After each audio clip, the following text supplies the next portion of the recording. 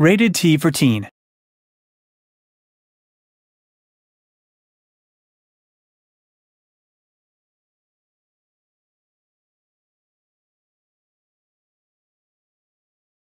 A Ninja Theory, we always really pay particular attention to character, not just characters in the game, but also environments, the lighting, everything we try and um, give character to. Character's really important because it's the thing that draws you into the game. If you connect with your character, then you're in that place, in that emotion. Uh, character is ultimately what makes us like or dislike a person. Journey to the West is uh, an ancient Chinese story. It's incredibly popular. Journey to the West is a story about two characters who not only go on a physical journey to the West, they are going on an emotional journey where they are discovering who they themselves are and they change and grow over time. And so when we wanted to adapt it, we took free reign in kind of mashing together lots of different elements of popular culture that we like. The core idea of the game is really the interplay between Monkey and Trip. So we've got these two characters, Monkey, who's uh, a strong, brutish character, and Trip, who's uh, kind of weak, but she's uh, very tech savvy. So she is stuck on this slave ship with Monkey, and she manages to escape, as does Monkey. And she decides to use this guy as a tool, a weapon, to help her get through this very dangerous land and get herself home. Monkey is a wild man, self sufficient, standalone individual. It's kind of like Tarzan having a really bad day. Essentially, he doesn't need anybody. He's very dismissive of culture and looking after people because he's been hurt by it time and time again. Trip is the complete opposite to Monkey.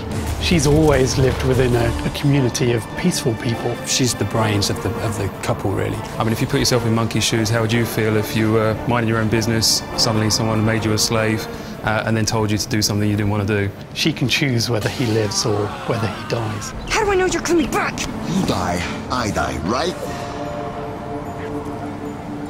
Yeah.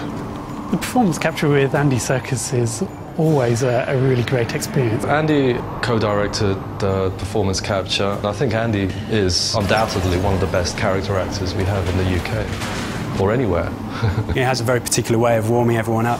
One of Andy's key skills is being able to actually you know, make them relax and understand how it's not that different to a film production. The first morning when we got together, he said, right, everyone outside into the large area. And we ended up kind of running around for quite a few minutes playing tag, going under people's legs to free us up, and he's sprinting. And With 20 adults running around trying to do this um, all at once, it's very hectic and the energy is just there. Alex Garland is a, is a novelist and screenplay writer. And he's, he's responsible for The Beach, 28 Days Later, Sunshine. But I want to say the right thing about him because he's brilliant.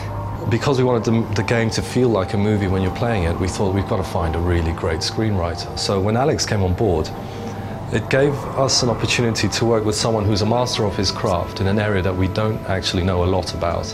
And so what he brought to the game was this um, amazing kind of almost directorial eye of how to tell a story. And he worked with us for two years on that, and we learned a hell of a lot from him. At a very high level, Enslaved was inspired by the Chinese story of A Journey to the West.